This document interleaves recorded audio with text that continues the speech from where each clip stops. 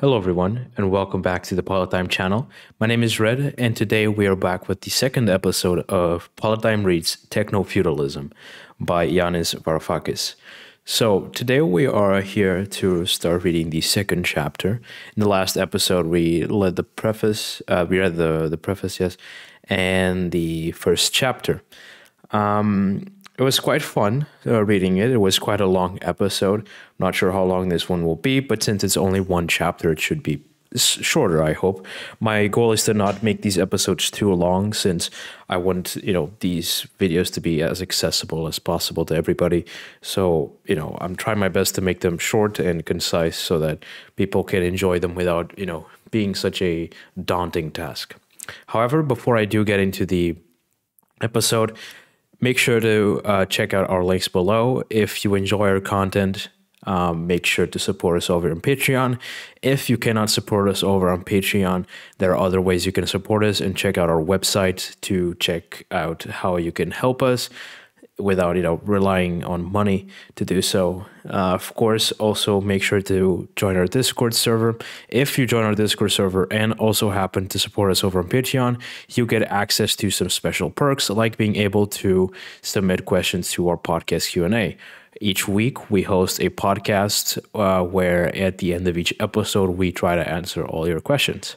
And of course, make sure to also support us over at our social media platforms where we keep you updated with the newest stuff going on. We you know if, if something goes wrong with an episode or or whatever it may be, we always keep everybody informed there. So make sure to follow us on there. And with that being said, let's get into the second chapter of the book. So the second chapter of the book is called Cap- uh, Capitalism's Metamorphosis. Um, basically the way the book is structured if you haven't watched the first episode is that the first chapter was a bit of a kind of a I wouldn't say a throwback, but it kind of told the story of how Yanis kind of got into politics and a bit of a you know a bit of a story with about his dad, and now uh, we're actually getting into more of the the topic at hand, I guess. Uh, but the last chapter ended with him basically saying that this book is, um, you know, dedicated to his father, and that his father basically had a a question, which was, what is like, like what is how is capitalism going to end? Like, how is it impossible to to overthrow? And what is the Achilles heel of capitalism? And now the first sentence is. Uh, is what it is. is what is is the answer, I guess, or at least that's what it seems like. So let's start. Dad, it was capitalism's Achilles heel. After all, the digitally networked technologies that capitalism spawned proved its comeuppance. The result? Humanity is now being taken over by something that I can only describe as a technologically advanced form of feudalism, a techno feudalism that is a certain that is certainly not what we had hoped would supersede capitalism. I can tell you are puzzled that wherever you look today, capital is triumphant. New moment monuments to its power spring up everywhere. Physical ones in our cities and across our landscapes, digital ones on our screens and in our hands. Meanwhile, the digital the the capital poor sink deeper into prec- precarity, and our democracies bend their knee to capital's will. So how dare I even imagine that capitalism is on the way out, that it is being taken over? Have I forgotten that, that nothing strengthens capitalism more than the illusion that it is evolving out of existence and into something new? A mixed economy, a welfare state, a global village. No, of course I have not forgotten. Metamorphosis is to capitalism what camouflage is to a chameleon, essence and defense mechan mechanism combined. And yet we are not talking about mere disguise. Several of capitalism's transformations have been uh, epoch changing. One of those was unfolding around the time you were educating me to iron's magic in front of our fireplace And in fact, to explain what I mean by techno feudalism, I need to first describe in some detail this transformation, capitalism's latest series of metamorphoses, which is the subject of this chapter. Only then, in the next chapter, will I be able to begin to explain properly what has ha- what has replaced it. Sorry. Okay. In an episode of Mad Men, the television television series on the rise of advertising in the 1960s, the legendary creative director Don Draper coaches his protege Peggy on how to think of Hershey, a chocolate bar that their firm is spending. Draper's marketing philosophy perfectly perfectly encapsulates the spirit of the of the time. You are the product. You feeling something. James Poniewozik interp- uh, interprets uh, Draper's line in Time magazine. You don't buy a Hershey bar for a couple of ounces of chocolate.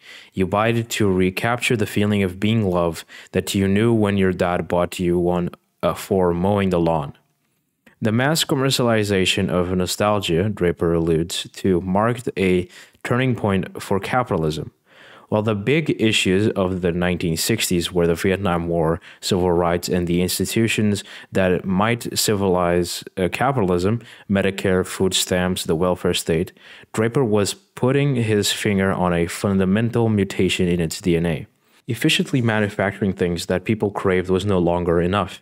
Capitalism now evolved the skillful manufacture of desire. Capitalism had begun as a relentless drive to put a price on things that once had no price common lands, human labor, all the stuff that families once produced for their own consumption, from bread and home brewed wine to woolly jumpers and various tools. If there was something that humans shared and enjoyed, but which had no price and. Next page uh, and matter to us only for its in- intrinsic or experimental experiential sorry experiential value like granny's handcrafted tablecloth or a beautiful sunset or a be- beguiling song capitalism found a way to commodify it subjugate its experiential value to an exchange value. It was in the nature of the beast capitalism is synonymous with the triumph of exchange value because it is the only value that can be crystallized into more capital. Just as the Borg in Star Trek depend on assimilating the biological and technological distinctiveness of other species for their survival, capitalism has taken over the planet by assimilating wherever possible any experiential value it encounters into its exchange value chain. Having assimilated every uh, resource, crop, and artifact it could, capitalism has since gone on to commodify the airwaves, women's wombs, art, genotypes, asteroids, even space itself. In the process, the experiential value of all things is reduced to a dollar sum, a commercial asset, a tradable contract. And yet, contrary to Borg's scary greeting, you will be assimilated. Resistance is futile experiential values, resistance has not been in vain. Each time the onslaught of exchange value has overcome its de- defenses, experiential value has gone underground into the catacombs of our psyche. It is there that Don Draper, or more accurately, the men and women Mad Men is based on, discovered it, retrieved it, and yes, commodified it. In the process, capitalism changed radically. Watching Mad Men, the audience wonder why the firm pays Draper a mint to do what he does. Mostly horizontal on a comfortable couch in his office, he consumes impressive quantities of bourbon, has a series of breakdowns, behaves erratically and unprofessional, and when he does dine to share what he's thinking, usually offers only critique and disjointed thoughts. But just when you expect him to self destruct or get fired, he comes up with a magical way of reimagining anything from mediocre chocolate and humdrum steel products to second rate hamburger restaurant chain chains in ways that make them emotionally resonant and intensely desirable. In both aspects of his behavior, Draper captures the essence of capitalism's post war transformation the discovery of a new market, namely the market for our attention, grafted onto a shiny new industrial structure, but all within a system that, that remains fully reliant on labor's dual nature. For the dual nature of Draper's labor is writ larger in every episode of Mad Men. His bosses would love to be able to purchase his ideas without having to tolerate him lounging around the office half drunk. In the language of the previous ch chapter, they would jump at the opportunity to buy Draper's experiential labor directly. Only they can't, they couldn't, even if he wanted to sell it to them. Instead, they are focused to buy his commodity labor, i.e., his time and potential, in the hope that during his inebriated days, his genius will sp spontaneously deliver the, the famed Draper magic. And when it does, their immense profits confirm once again that capital is born out of the capitalist's inability to buy experiential labor directly. Draper's genius, meanwhile, is to grasp and to confront the paradox of commodification. Yes, capitalism must commodify everything it touches, but at the same time, high exchange value and thus serious profits depend on failing to do so fully. It is to avoid the fate of school of predators that devours its prey so efficiently that it starves to death. Capitalism relies on there being an endless su supply of experiential value for its exchange value to trounce and cannibalize. It must always be discovering and commodifying what has so far escaped it. Smart advertisers do exactly that. They tap, in, they tap into emotions that have previously escaped commodification in order to capture our attention. And then they sell our attention to an entity whose business is to commodify whatever experiential value has hidden in our souls, fleeing commodification. With his Hershey bar speech, Draper lays bare a crucial aspect of how soon after the war capitalism reached its golden age. How could the profits keep flowing once everything has seemingly been commodified already? Draper's answer through the triggering of uncommodification emotions deep inside us. Thus, a Hershey bar becomes the simulacrum of a dead father's caress. Bethlehem steel is rebranded as the spirit of America's polis, with the steel product symbolizing the New World's own Iron Age. When Draper and Peggy visit a burger chef, burger chef outlet, they discern the possibility of a television advertisement that promotes the chain as an opportunity for families to be reunited around its plastic table, away from the family home where togetherness is no longer possible because everyone's attention has been arrested by the television. So, what did capitalism look like before this great transformation occurred? And how did this transformation take place? Another way to ask the same question would be where did Sterling Cooper and Partners, Draper's uh, fictional firm, find the money or willingness to treat him like an uh, academic? To pay him good money to think deeply at the pace of his choosing? Capitalism's early advocates would have been perplexed. Their idea of entrepreneurship took the form of parsimonious bakers, butchers, and brewers eagerly striving to satisfy their customers' basic needs by working hard, thinking on their feet, economizing on everything, squeezing the last drop of exchange value out of any raw materials they could lay their hands on. What a change that meant a character like Draper could become an icon for, for our enterprise culture. I think you will like my answer that electromagnetism.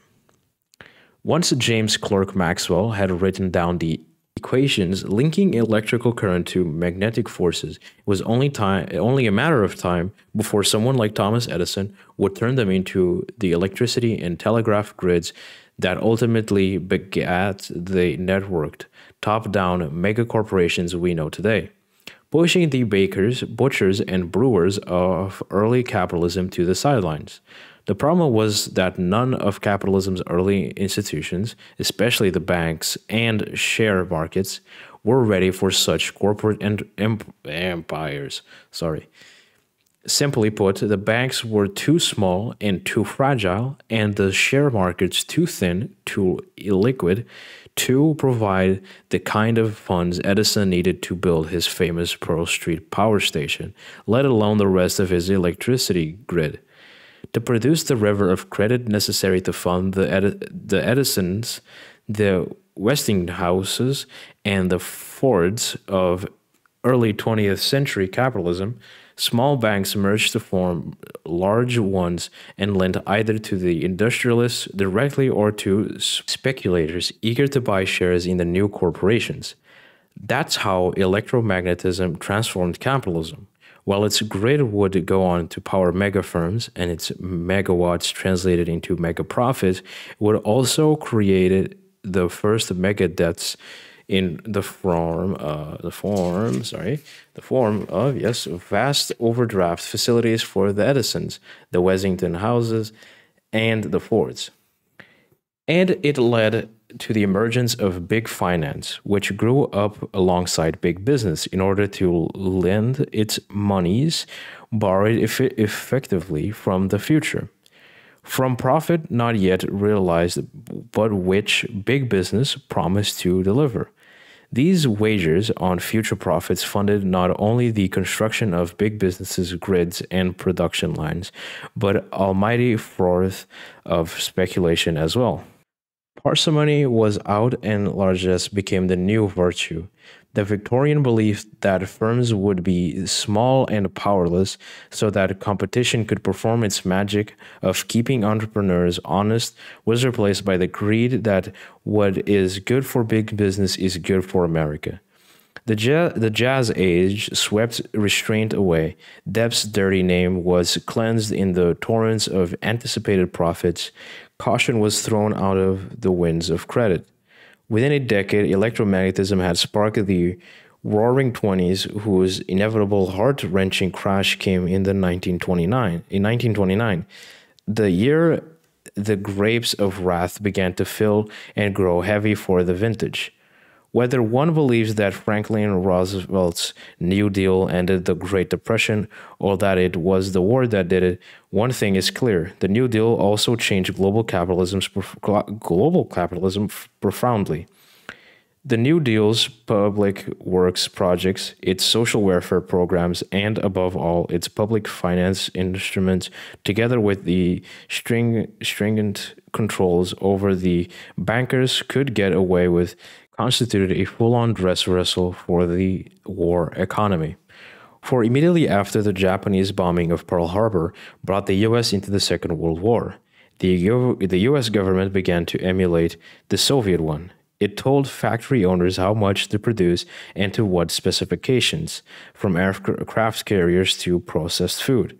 It even employed a price czar, the economist John Kenneth Galbraith, Galbraith, Braith, I think that's how you read it, whose job literally was to decide the price of everything, to fend off inflation, and to ensure a smooth economic transition from wartime to peacetime.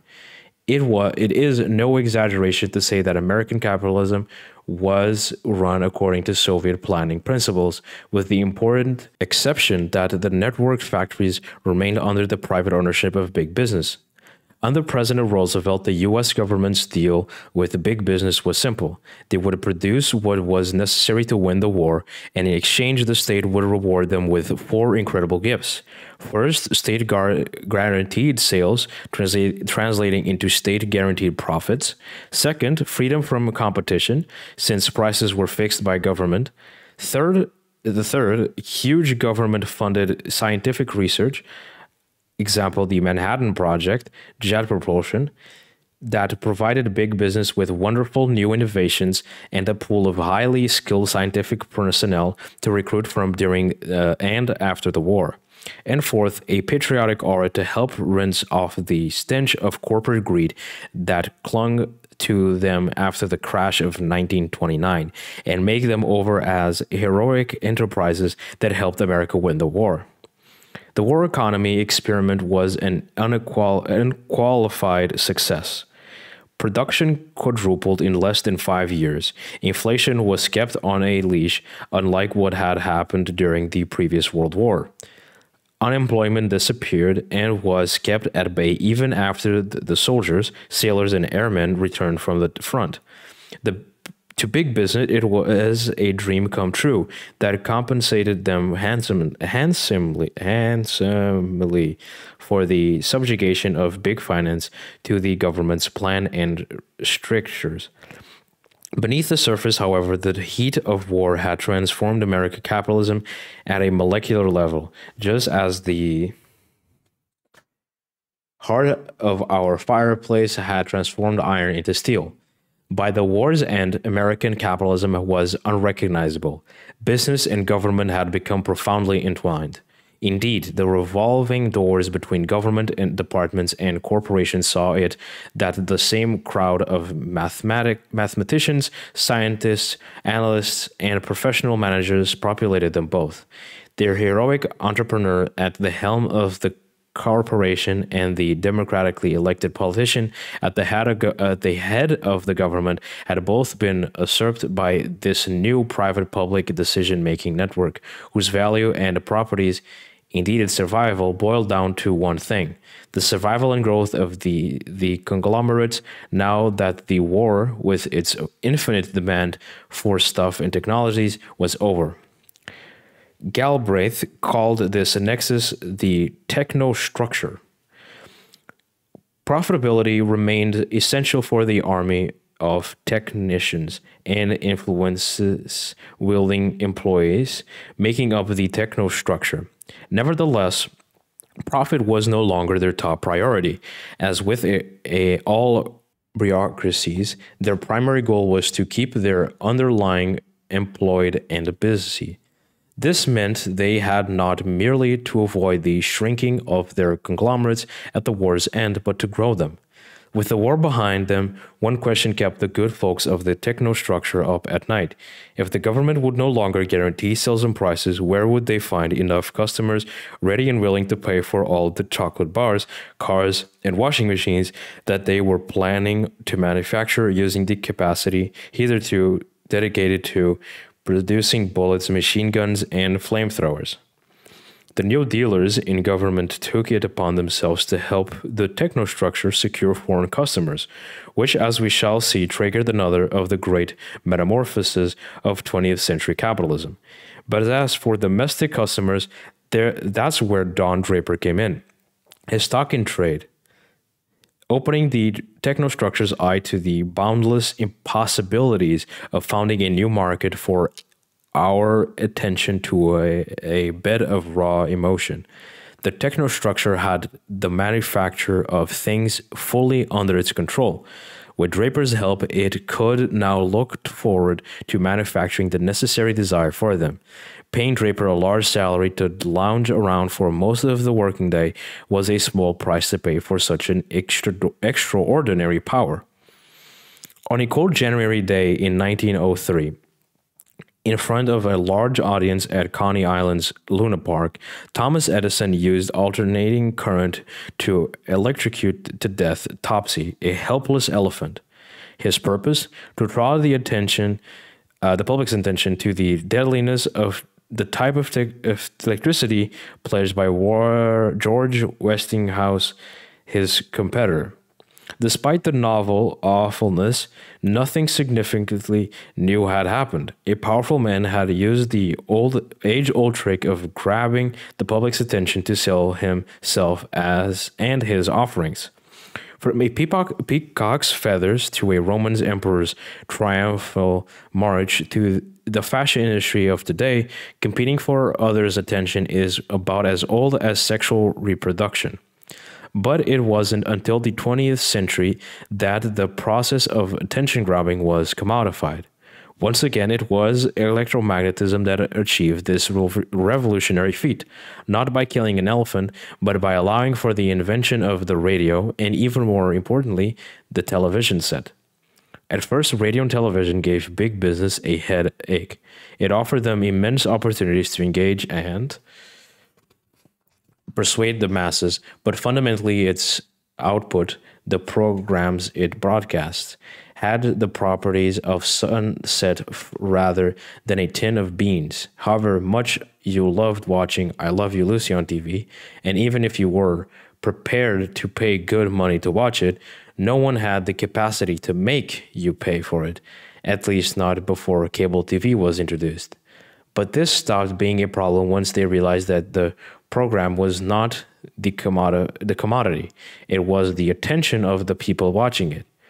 By broadcasting the program for free, they could secure the audience attention, allowing them to sell to it to that whoa, whoa, allow them then to sell it in the form of advertisement breaks to Draper's clients who were now so eager to instill new desires in the hearts of the American public. With the birth of commercial television, the technostructure appended a boisterous attention market to its labor market. The dual nature of labor was now coupled with the dual nature of the spectacle. On the one hand, a cultural product with large experiential value, but no exchange value. And on the other hand, capture the attention of viewers with substantial exchange value, but no experiential value. The culture impact was enormous, but with the with the less visible impact was no less monumentous. A new group of experts had been grafted onto the technostructure.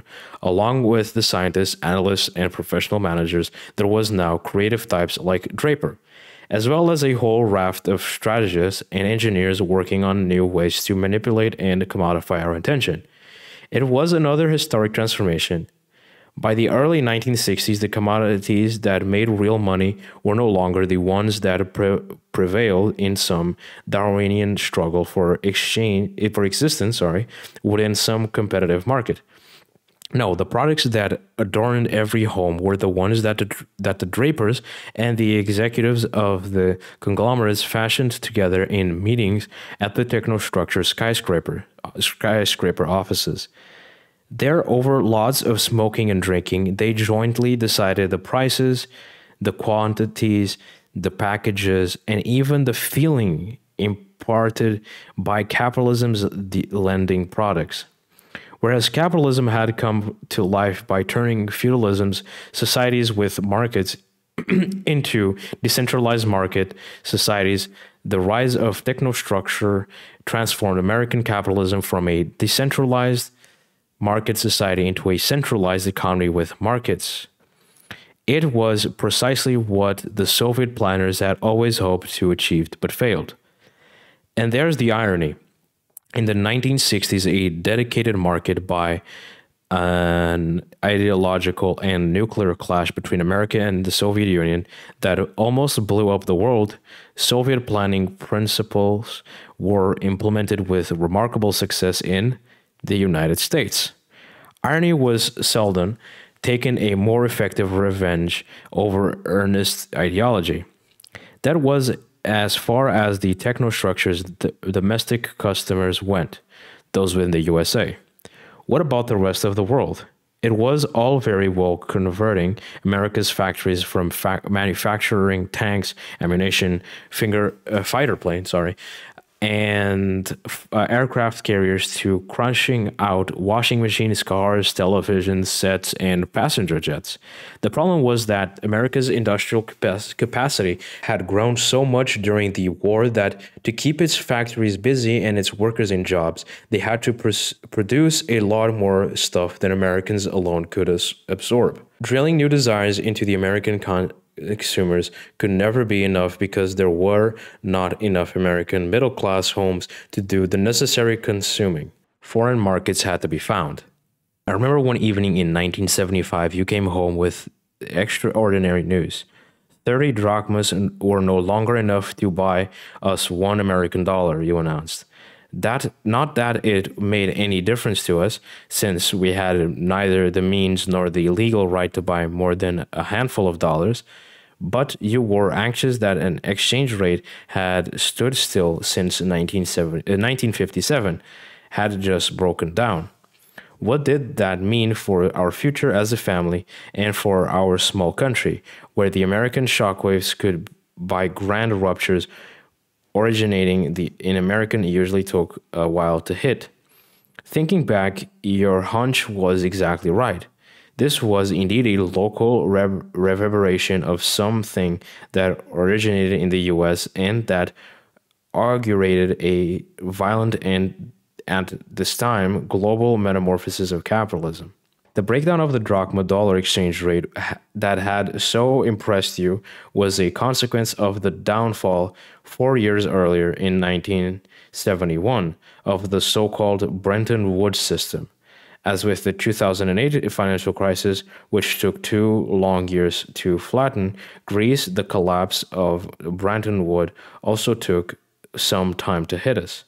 A German friend once quipped, If I hear that the end of the world is nigh, I shall immediately move to Greece. Everything takes a couple of years longer over there. Bretton Woods was the audacious global financial system devised by the New Dealers in 1944, whose purpose was noble to thwart the Great Depression's return after the war had ended.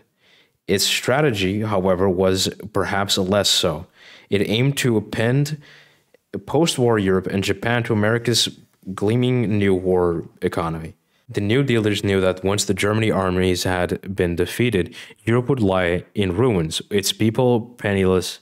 So Washington understood that its first task would be to monetize Europe. Literally, to provide them with money to spend in order to get their economies running again. That was easier said than done.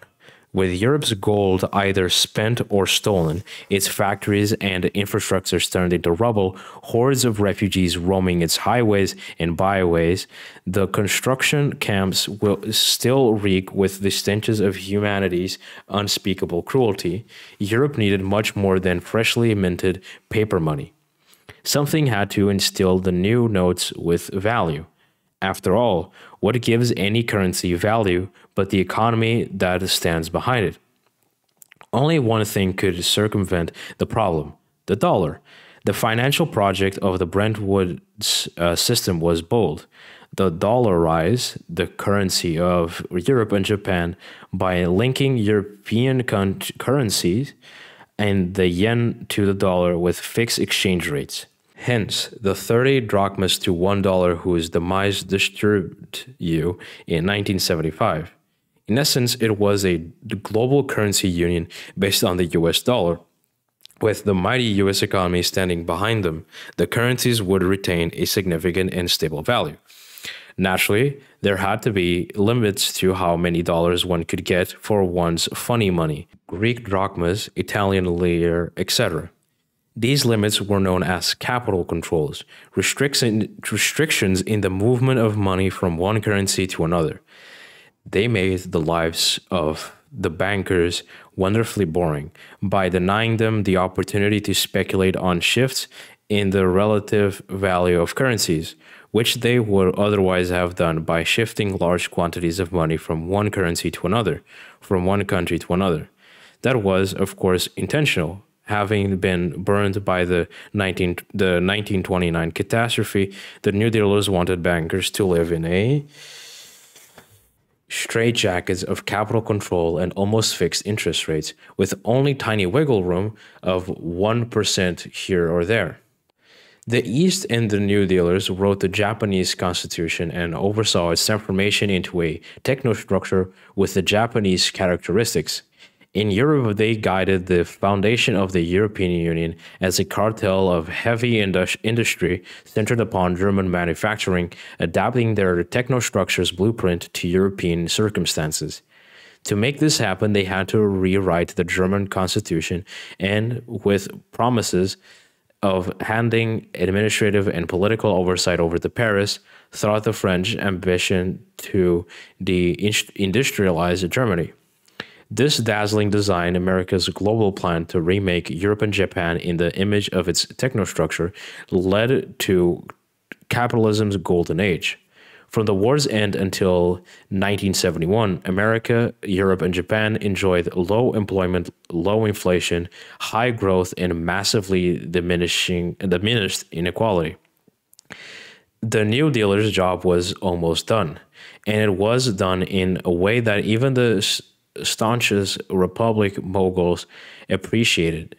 Turning to Mad Men for one more symbolic insight, there was a scene from Conrad Hilton, the hotel mogul, shares with Don Draper his true ambition, which encapsulates the spirit of this golden plan, this global plan, sorry. It's my purpose in life to bring America to the world wherever they like it or not. You know, we are a force of good, Don, because we have God. Whether the scriptwriter meant God as a stand in for the dollar or not, it is fair to say that American hegemony in this era re relied on the almighty power of its currency, the only currency everyone wanted, even if they never cared to buy anything coming from America. But all this relied on one crucial factor for the dollar to be the apple of everyone's eyes. At the fixed exchange rates the Bretton Woods system guaranteed, America had to be a surplus amazing country, meaning it had to sell more goods and services to the rest of the world than it imported. Of course, selling goods to the Europeans and Japanese was more than just a business outcome. It was how the technostructure world secured for itself the vast new markets it needed to sustain its industries and kept its economy growing. But the whole system was relying on its surplus integrally for it was what ensured that the dollar imprinted by the Federal Reserve, America's central bank, and given to the Europeans and to the Japanese, either as loans or aid, would ultimately find their way back to the European to the United States in return for US goods. With every Boeing jet or General Electric washing machine sold to the Europeans, a bundle of dollars would head home back across the Atlantic. And as long as migratory dollars were gravitating back home, the dollar would remain a steal at a given exchange rate, guaranteeing the Germans, the British, the French, the Japanese, even the Greeks wanted to get many more dollars for their funny money than the authorities allowed them to at the official exchange rate. As long as America was the major surplus nation, Bretton Woods was safe as, as houses. And that's why by the late 1960s, the Bretton Woods system was dead in the water. The reason? Three developments which caused America to lose its trade surplus and became a chronically deficient, uh, deficit economy. Sorry, I read that wrong. The first was the escalating Vietnam War, which forced the US government to spend billions in Southeast Asia on supplies and services for its military. The second was President Lyndon Johnson's attempt to make amends for the ill effects of uh, conscription on working class America, its black communities in particular. His valiant but excessive Great Society program substantially reduced poverty, but at once sucked a lot of important goods from Japan and Europe into the United States. Lastly, Japan's and Germany's factories surpassed America's both in terms of quality and efficiency, partly due to the support successive US governments had extended to Japanese and Germany's manufacturing sectors, the car industry being an obvious example. Never too slow to accept reality, Washington killed off its finest creation. On 15th August 1971, President Nixon announced the ejection of European and Japanese from the dollar zone.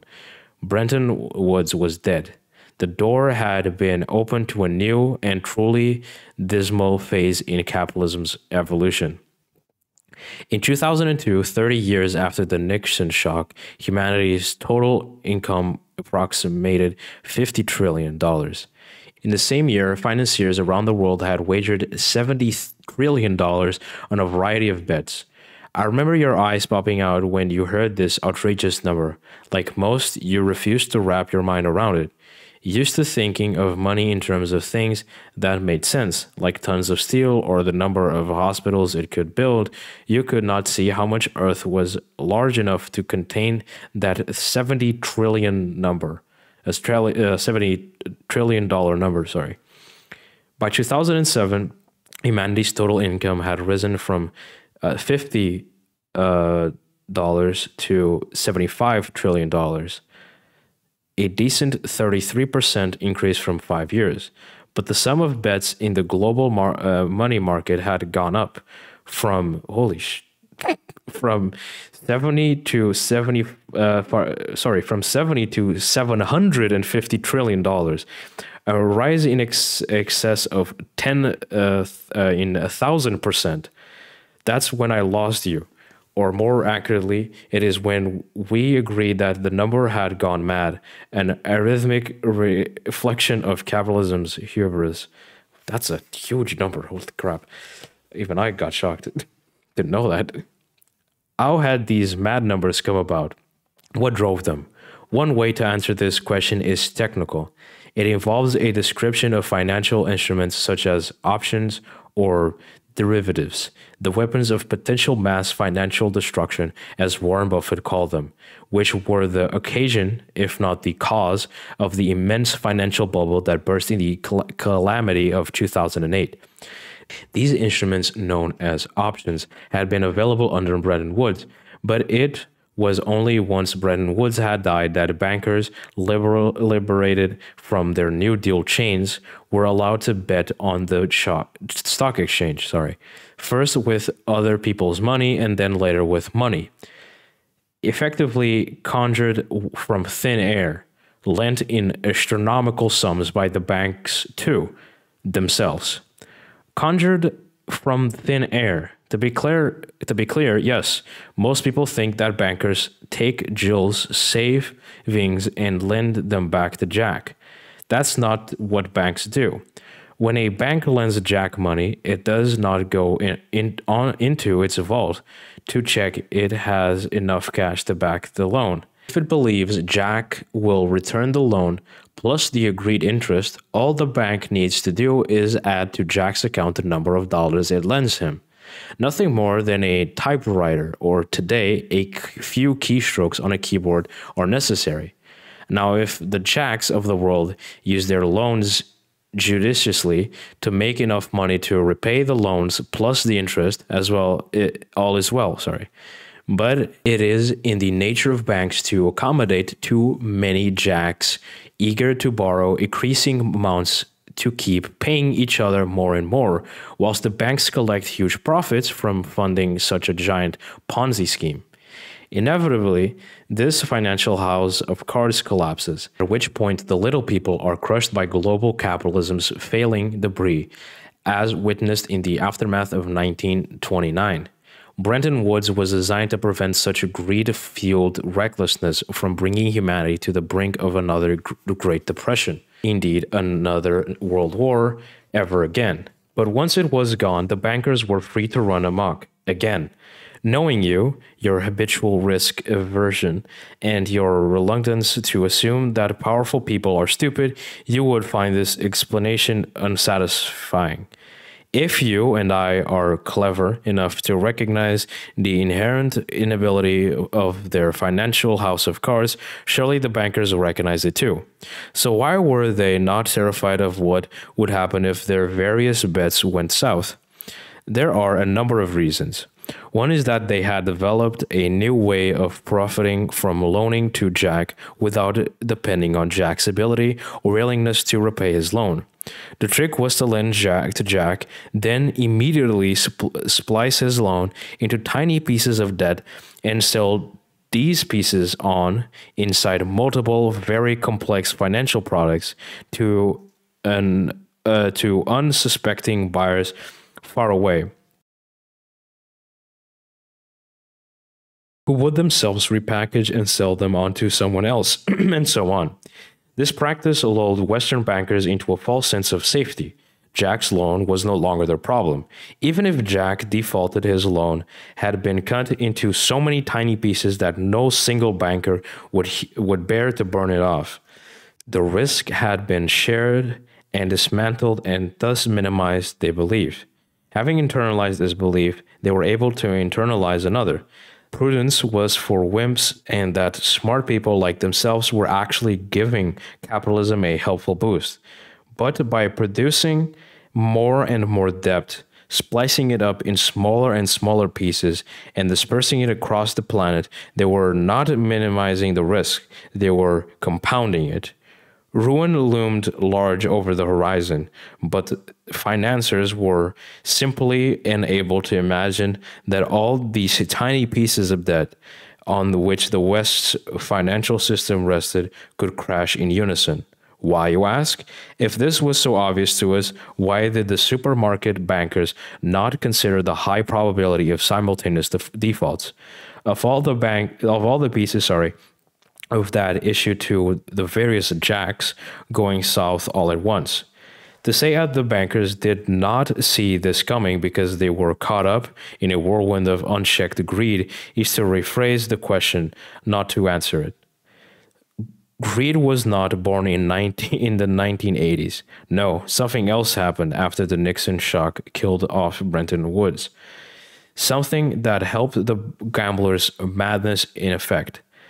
Wall Street magnified greed in the process, generating these mad numbers. Whatever that something was, it must have been substantial, judging by its earth shattering consequence. It shifted capitalist power from the economic sphere, i.e., from the ind- industries and commerce, to the financial sphere, to the world of the bankers. What was it? You will be pleased to hear that the answer, my answer, evokes an ancient myth. A myth. Oh boy, here we go. Once upon a time, in the famous maze-like labyrinth of the Cretan king's palace, there lived a creature as fierce as it was tragic, surviving in the intense loneliness comparable only to the fear it inspired far and wide. The Minotaur had a voracious appetite. Satisfying it was essential to maintaining the peace that King Minos had enforced, allowing the trade to crisscross the seas, spreading prosperity, benevolent reach to all. Alice the beast's appetite could only be satisfied by human flesh. Every now and then, a ship loaded with youngsters sailed from faraway Athens bound for Creta. On arrival, it would deliver its human tribute to be devoured by the Minotaur a gruesome ritual, albeit one that preserved the era's peace and reproduced its prosperity. Millennia later, another Minotaur rose up, surreptitiously from the ashes of the Bretton Woods system. Its lair, a form of labyrinth, lay deep in the guts of America's economy. It began life as the U.S. trade deficit. The fact that America began to buy more imports from another country than it sold to them owing to the Vietnam War, the Great Society, and the expanding efficiency of German and Japanese factories. The tributes it consumed was the rest of the world's exports, imported from Europe and Asia to be devoured in Middle America's malls. The more the US deficit grew, the greater the Minotaur's appetite for Europe's and more so Asia's manufactured goods. However, what gave it strength and global significance? What meant that it ensured the peace and prosperity not just in America, but in Europe and Asia too? Were the labyrinthine underground tunnels connecting Walmart to Wall Street. The way it worked was as follows. The new American Minotaur's appetite kept the gleaming German factories busy. It globbed up everything produced in Japan and later in China. This kept Europe and Asia peaceful and prosperous for now. In return, the foreign and often the American owners of these distant factories sent their profits, their cash, back to Wall Street to be invested and additional form of tribute, which enriched America's ruling class despite its eh, deficit. In this way, the global Minotaur helped recycle financial capital, profits, savings, surplus money, and the rest of the world's uh, net exports.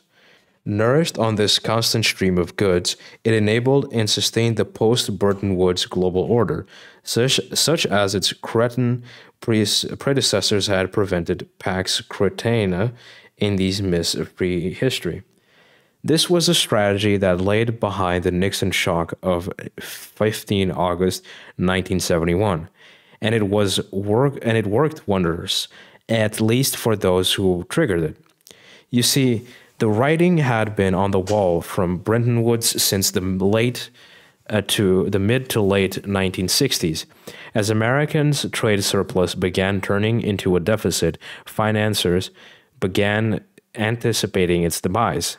They knew that sooner or later the dollar gold exchange rate, artificially set in 1944 at a fixed uh, $35 per ounce, would depreciate.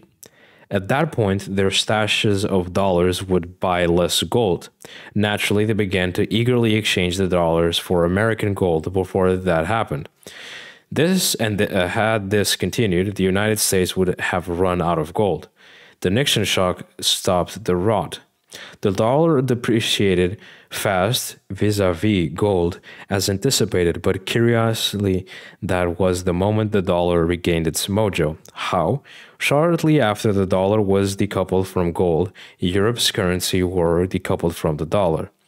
Once they, they lost their fixed exchange with the dollar, the dollar value of European and Japanese money began fluctuating wildly, like driftwood in a temp tempestuous ocean.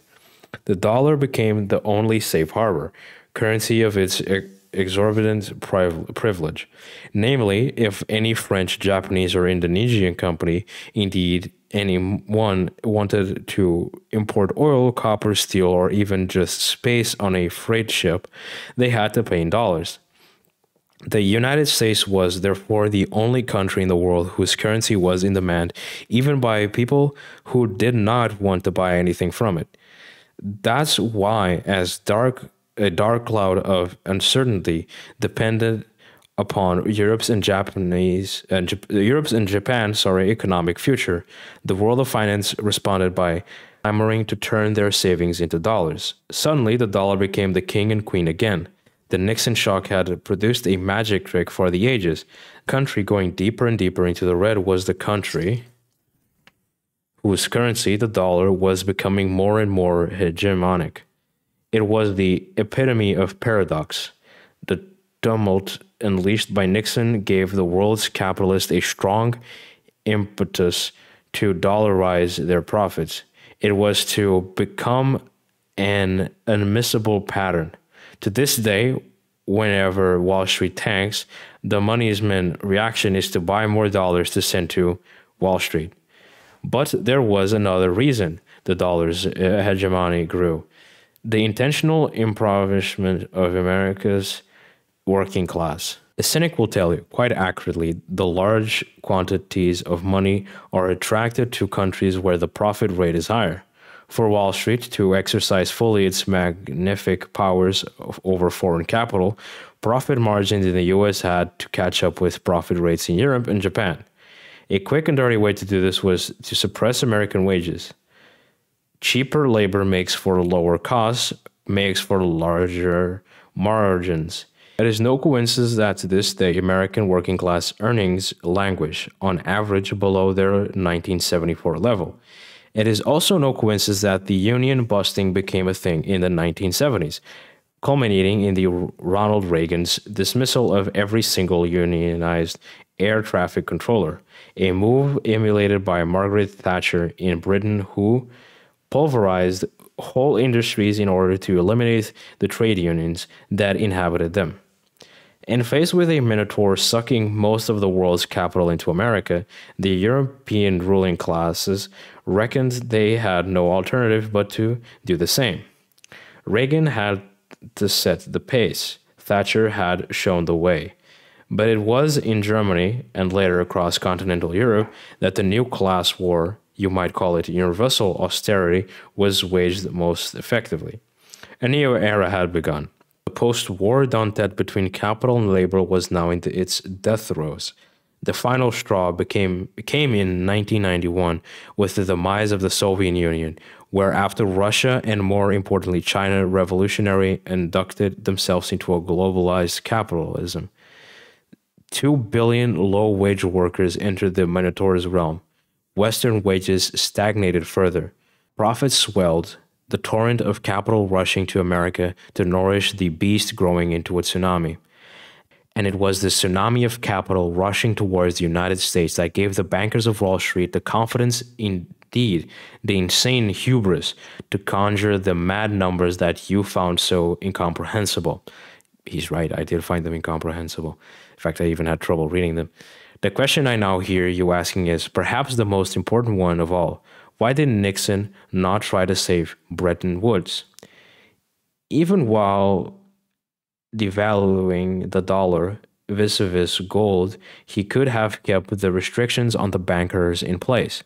He could have preserved the dollar's fixed exchange rate with Europe's and Japan's currencies. What inspired this dramatic volte face among the rulers of the technostructure? It is 1965. Flower, power, and make love not war are in the air. Going against the grain, Don Draper explains his theory of love to a date.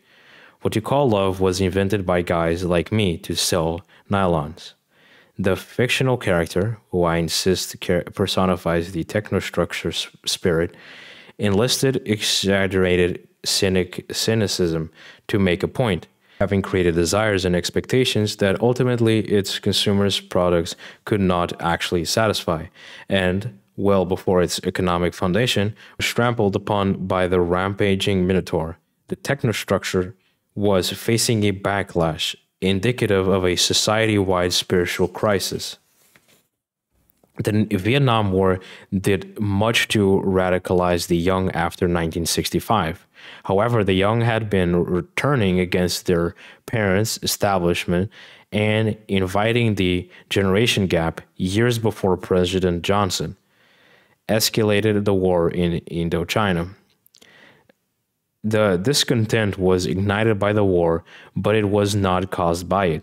So, why did Americans in Europe's young rise up in the mid to late 60s at a time of full employment, sharply diminished inequality, new public universities, and all the tramp, uh, trappings of an expanding welfare state? Talking to himself in another episode, Draper offers an answer in the front form of the harshest self criticism possible by a man who has dedicated his life to manufacturing desire. We are flawed because we want so much more. We are ruined because we get these things and wish for what we had. It is more one thing for our dreams to go unfulfilled it is quite another to sense that our unfulfilled dreams, our frustrated desires, have been manufactured by others. The more our mass produced cravings are satisfied, the less satiated we feel. The greater the capacity of the technostructure to stir the passions, the greater the void within when they were served.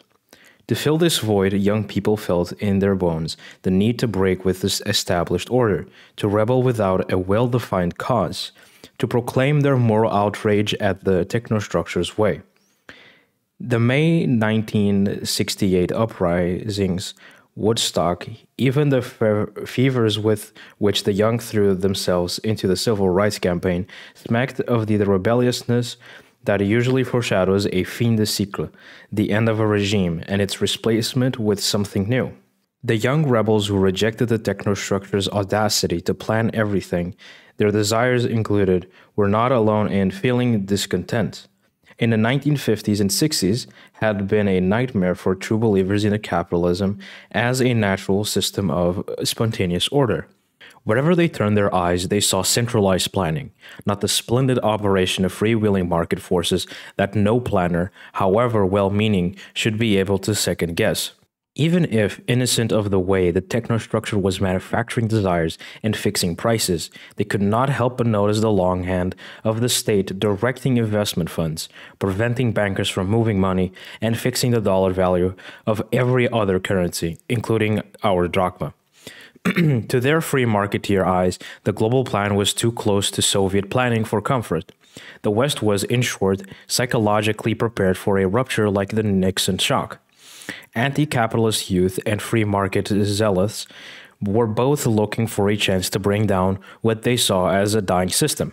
In the end, though it was neither the hippie left nor the libertarian right that disintegrated the global plan, it was the work of the functionaries who had served the technostructure well.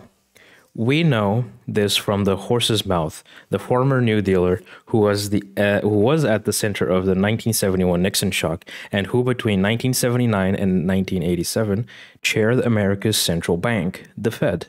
In a 1978 speech at Warwick University, Paul Volcker explained succinctly and cynically what they were up to. A. Controlled in this, uh, disintegration in the world economy is a legitimate objective for the 1980s. That's exactly what the Nixon shock was meant to do. Just a controlled implosion brings down an unwanted skyscraper. Bretton Woods was demolished to make way for America's global minotaur. Lest you have any doubts, Volcker own, own words from the same Warwick speech say it well, say it all, sorry. Balancing the requirements of a stable international system against the desirability of retaining freedom of action, for national policy, a number of countries, including the United States, opted for the latter. Where once stood the most stable global capitalist system ever, folks like Volcker were enthusiastically erecting the most unstable international system possible, founded on ceaselessly, ceaselessly sorry, ballooning def, def, deficits, debts, and gambles. Their controlled disintegration of Bretton Woods would soon complete the new global system. Most people refer to it as globalization or fiscalization.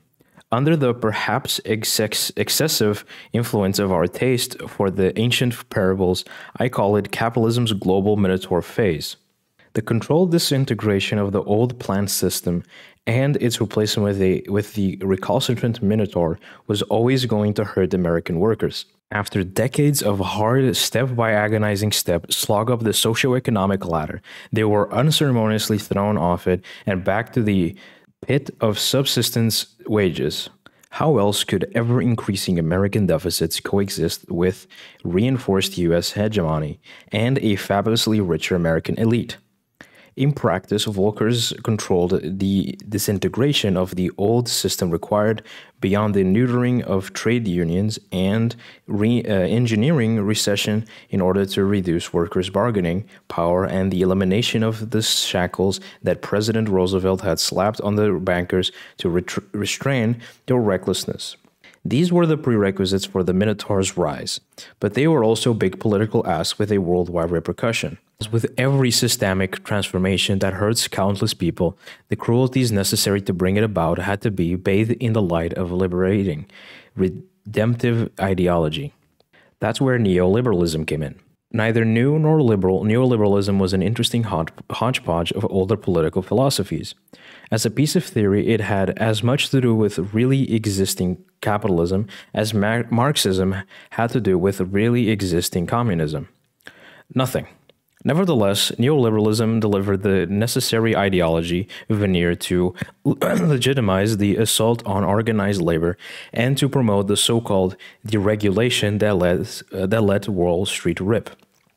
Along with it came the revival of economic theories that humanity had rightfully ditched during the Great Depression theories, artfully assuming that which they claim to explain, such as the grand lie that deregulated mar financial markets know best. Around the same time, in the late 1970s, the first personal computer began to enter engineering, architecture, and of course, finance. The joke then was that the er is human, but to mess things up seriously, one needs a computer. Sadly, in high finance, it was no joke. Earlier, I gave the most cursory explanation of the financial options or derivatives that were the occasion of the 2008 crash, you saw immediately that they were primed for destruction. All it took was a downturn in the underlying share prices. Why could the financiers not see this? My previous answer, that logic was trumped by profit taking, was the truth, but not the whole truth. The missing part of the answer computers. Computers allowed financiers to complicate their gambling immediately. Instead of a simple option to sell boring old chairs to Jill, Jack could now buy much snazzier options called derivatives. For example, he could buy a derivative that was, in essence, an option to buy a bundle containing shares in a variety of different companies plus bits of debt owned by homeowners in Kentucky, German corporations, even the Japanese government. As if that were not complex enough, Jack could also buy a derivative amounting to the option to buy a bundle of many such derivatives that some supercomputer would create. By the time these derivatives containing other derivatives had come out of the computer, not even the genius financial engineer who created them could understand what was in them. Complexity thus became a great excuse not to delve into the derivatives that one bought. Liberated the Jills and Jacks from the need to explain themselves why they were buying them. Once computers had a guarantee that no one could possibly understand what these derivatives were made of, everyone wanted to buy them because everyone was buying them. And as long as everybody was buying, anyone who could borrow huge amounts of money could become a billionaire and avoid being branded a coward or a party pooper or a loser by one's colleagues, simply by purchasing, purchasing them. For years, that's exactly what was happening, until in 2008 it wasn't. As a brief side note, you may well ask when the bubble finally burst, why did we not let the bankers crash and burn? Why weren't they held accountable for their absurd debts?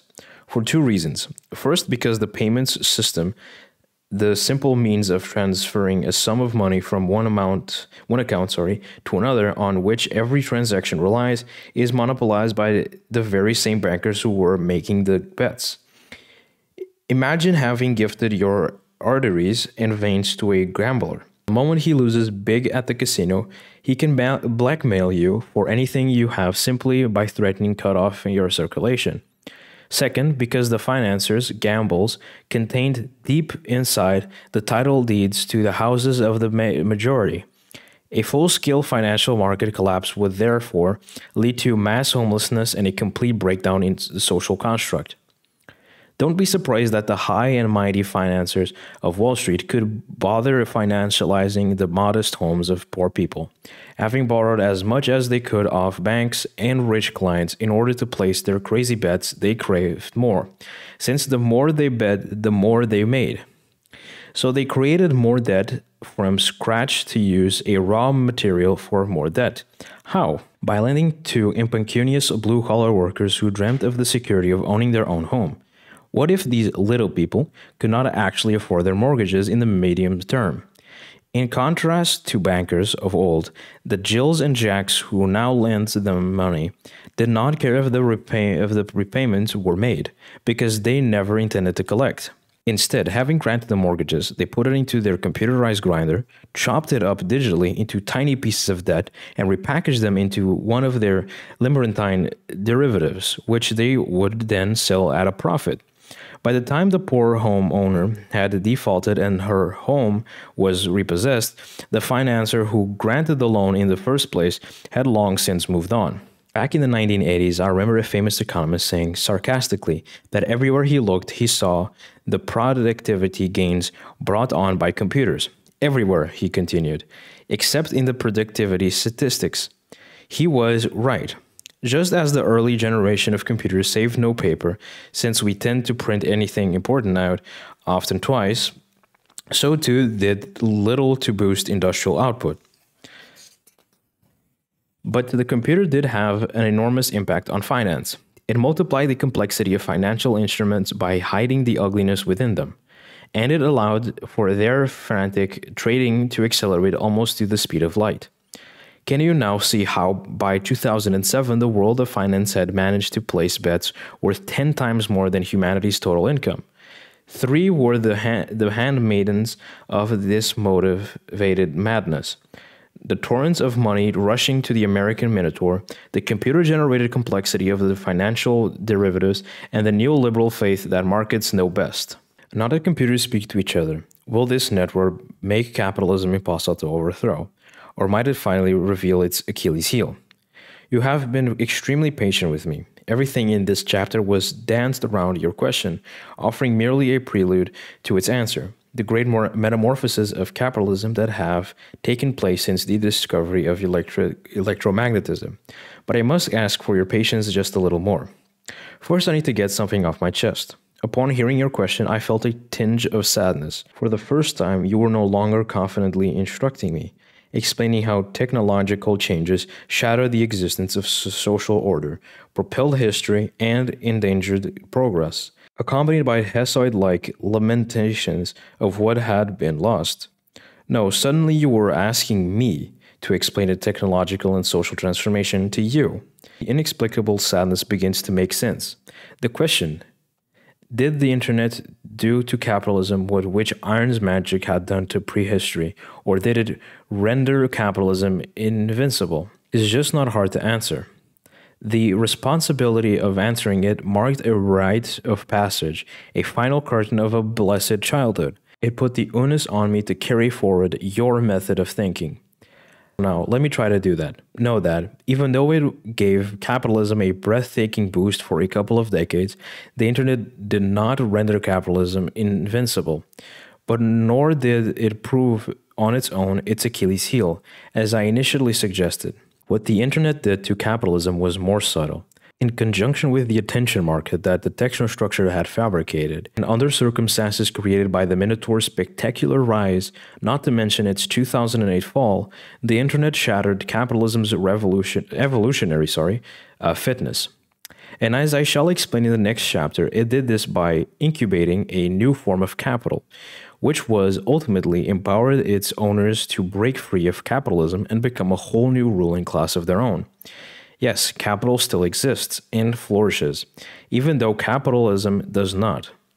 None of this ought to surprise you. After all, it was what you taught me. As consecutive mutations multiply the variants of an organism until at some point a brand new species appears, so technological changes proceeds within a social system until suddenly the system has been transformed into something quite distinct, though that doesn't mean at all of the materials out of which the system is built, capital, labor, and money, have necessarily changed. Improvements in navigation and shipbuilding did not end feudalism on their own.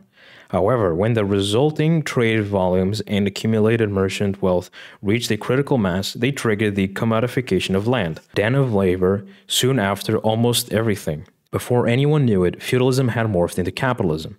Similarly, with the technostructure, which contained markets during and after the war with Don Draper's Mad Men, who turned our attention into a vital commodity, and which and with the Nixon shock, whose demolition of the global plan enabled Wall Street's mad numbers to fund the rise of the Minotaur. None of these developments overthrew capitalism, but can be thought as a mutation in its DNA that led to a series of remarkable metamorphoses as it adapted and evolved, like a virus facing a miscellany of vaccines. But there comes a time when something has evolved so much that it is possibly best to call it something else. Before we delve into capitalism's final metamorphosis into what I call techno feudalism, it is perhaps apt to dedicate a few final words to the global minotaur, the metamorphical beast standing in for the US centered global recycling system, which between the late 1970s and 2008 delivered, delivered all the props of our present drama big finance, big tech, neoliberalism, industrial scale inequality, not to mention democracy so atrophied that films like Don't Look Up are necessary to explain humanity's paralysis in the face of climate catastrophe. So here comes the briefest of eulogies. The Cretan Minotaur was slain by an Athenian prince, Theseus. In death ended prehistory and ushered in the classical era of tragedy, history, philosophy. Our era's Minotaur died less heroically, a victim of cowardly Wall Street bankers whose hubris was rewarded with massive state bailouts that did nothing to resuscitate the Minotaur. For while the American deficit returned with a vengeance a year after the crash of 2008 and subsequent bankers' bailouts, it never restored the beast's capacity to recycle the world's profits. True, the rest of the world continued to send most of its profits to Wall Street, but the recycling mechanism was broken. Only a small fraction of its of the monies rushing to Wall Street returned in the form of tangible investments into factories, technologies, agriculture. Most of the world's money rushed to Wall Street to stay in Wall Street. There it sloshed around doing nothing useful. As it piled up, it bid up share prices, thus giving the Jills and Jacks of finance yet another opportunity to do stupid things at a mammoth scale. Some of us had dared to hope that the Minotaur's passing might help us build a new system where wealth no longer needs poverty to flourish and development is thought of in terms of better rather than more. Those of a hyper optimistic disposition went as far as to dream of a day when exploitation withered, politics was democratized, perhaps even with the help of the internet, and our environment's resilience triumphed other priorities. Such hope faded after 2009, and although for some they were revived during the big crisis, the pandemic, it was not to be.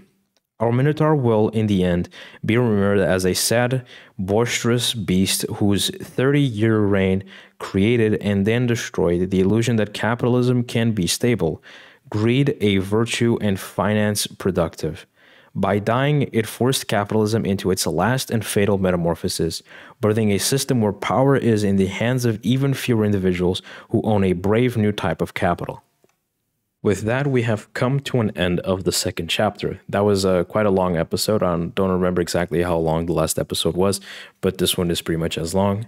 Um, that was a very interesting chapter, uh, kind of going through the, you know, the, the the the evolution of capitalism, primarily after the the world wars, is very interesting to see. I didn't know a, a lot about these things. Of course, I have a general understanding of politics, but I don't know like these specific historical facts because you know generally speaking they're not really taught in school or anything so people don't really understand how exactly for example how europe and japan was financed by essentially financed or given money by the us to rebuild like most people know that but they don't know the the underlying history of it and and kind of the the wacky and goofy shit that america did uh, to to sustain that practice and how it then eventually backfired because honestly yeah, capitalism is just an unstable, you know, system and no matter how much you try to make it work, it is at the end of the day not a great system.